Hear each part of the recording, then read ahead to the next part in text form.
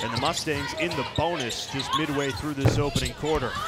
That three trickles in. Threes and getting some good action right now. The freshman Justice G, who's grown into her role for the Pirates with that three, and the counter comes right there, and then uh, cut the, cut the Mustangs off guard a little bit. And a great three to start this second quarter. Antoinette Bannister, Still number 15 in purple. She provides an interior threat for this ECU team. And Oliveira got that rebound. She's been a presence since entering this game. SMU with numbers and one against SMU, and four of them coming from Froling. Boy, Gaffney doing a good job of it's quickly becoming the Froling Gaffney show between these two teams. Now Froling, her turn to throw a punch. Alicia Froling. A five-point East Carolina lead in Toure up to five points. And that who needs to get hot for SMU, Alicia Froling. 15 points, more than half of SMU's points from Froling. They go inside the Gaffney, and that rolls in. Kristen Gaffney putting on a show for ECU. Four seconds to shoot. SMU's got to work quickly. Bolton. Wow, cutting through the ECU defense. Bannister's got to move quickly to Frazier. Back to Bannister, throws it up, it's good! This is a player that can catch and shoot. Look at the finish with one second on the shot clock. For the redshirt senior from Jacksonville, Florida. Both teams running to start this second half, and the first basket belongs to Khadijah Toure. Toure find that second gear in transition, exploding to the basket. Inside to Froling, the foul and the basket. Alicia Froling picking up where she left off in the opening half.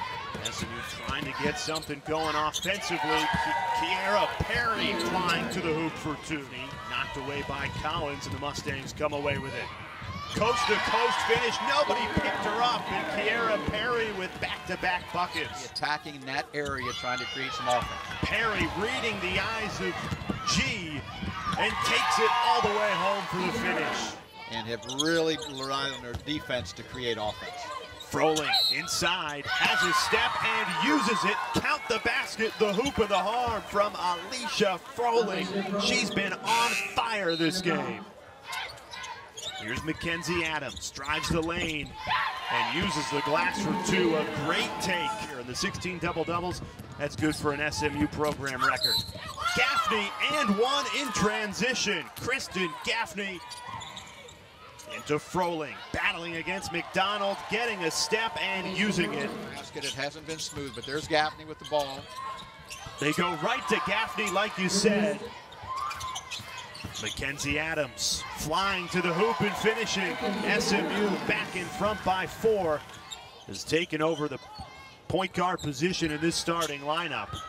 What a pass that was and an even better finish. Fading away, Bree McDonald drawing the pressure. Feed out Perry. And a foul called. Yeah, I think. And that goes against SMU. A huge call. Perry thought she was getting two from the line. Going the other way. They go right to Bannister. 30 seconds remaining. ECU down by three. Poked away. Stolen. And Perry comes up with a huge defensive stop for SMU and heads to the foul line for two with the Mustangs in the bonus.